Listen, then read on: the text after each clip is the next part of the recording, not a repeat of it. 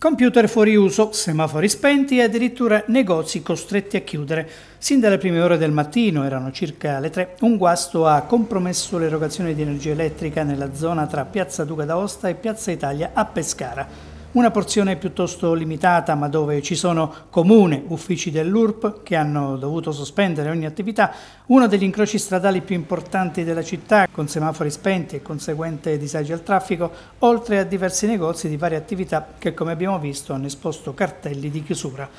Il guasto, anzi i due guasti rilevati lungo un cavo interrato, è stato riparato intorno alle 11 dal personale di e-distribuzione. Attraverso manovre di telecontrollo, ovvero da remoto, è stato prima individuato il tratto di cavo danneggiato e quindi ripristinato il servizio. Per la serie tutto è bene, quel che finisce bene.